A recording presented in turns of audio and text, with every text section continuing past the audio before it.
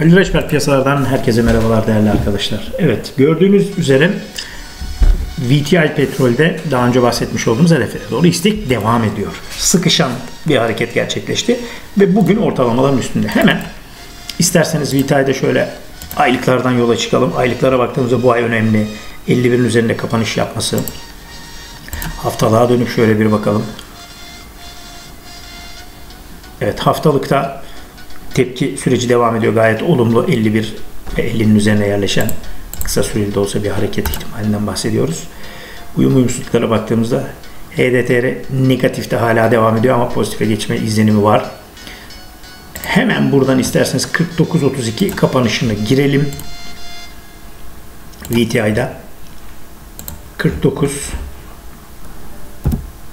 pardon 49 320 kapanışını girdik.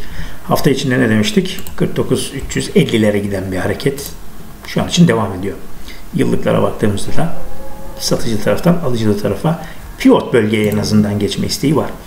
Günlükler bu anlamda önemli. 49'un üstünde olduğu için 49 350 50 50 40 50 440 olur mu?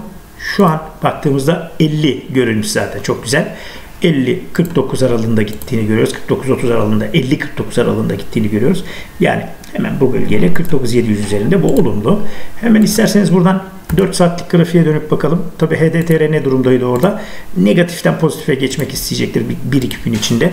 Şu an için çok önemli ortalamanın üzerinde bu gayet e, olumlu isteğin devam ettiğini gösteriyor ama aşağıda destek neresi hemen bakalım.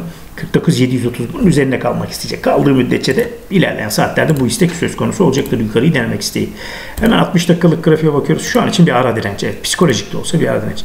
Belki burada dediğimiz 49.750'nin 9500 bu arada seriden bir hareket sonra belki yukarı istek söz konusu olabilir. 30 dakikalık grafiğe baktığımızda şu an için çok normal diyeceğimiz bir uyum uyumsuzluk var mı?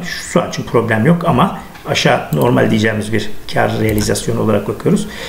5 dakikalıklarda ikili direnç tip tepe oldu diyebiliriz. Biraz daha aşağı, biraz daha dinlenen bir hareket göreceğiz gibi gözüküyor. Biraz önce tablomuzda bahsetmiş olduğumuz e, seviyeleri bu anlamda kendiniz de görebilirsiniz. İcatla e, tabloyu durdurarak bakabilirsiniz.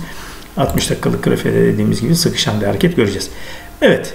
E, petrolle ilgili şimdilik söyleyeceklerimiz bu kadar. Herkese bol kazançlar diyorum. Görüşmek dileğiyle.